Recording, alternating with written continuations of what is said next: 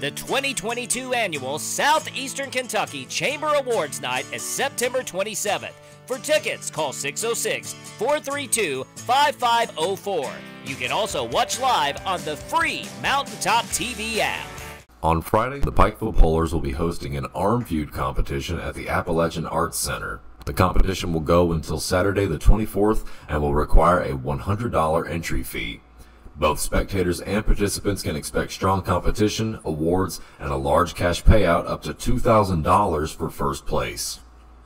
Well, the event itself is the first one we've done of this kind. We've been doing this for about four years, and generally we do it during uh, Hillbilly Days. This year we elected not to.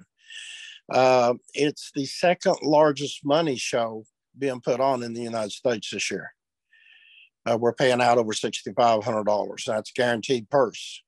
I mean, it doesn't matter if the competitors show up to cover it or not. That's a guaranteed purse.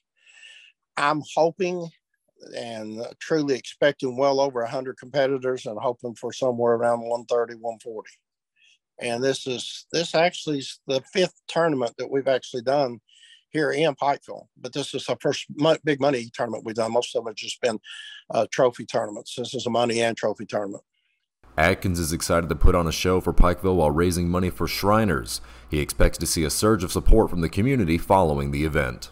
Well, I'd like to get as much support from our area as we can. We're going to, uh, of charging an admission at the door, we are going to have the Shriners there taking donations, and all that money will go to the uh, Shriners uh, charity, where whatever they want to do with it. We're just we're going to give that to them.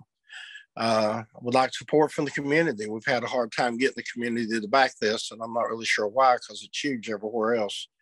So, you know, we'd appreciate them coming out and, you know, watching. You're going to see a real good event and, you know, come out and help support the Shriners too. Reporting for Mountaintop News, I'm Nick Collum.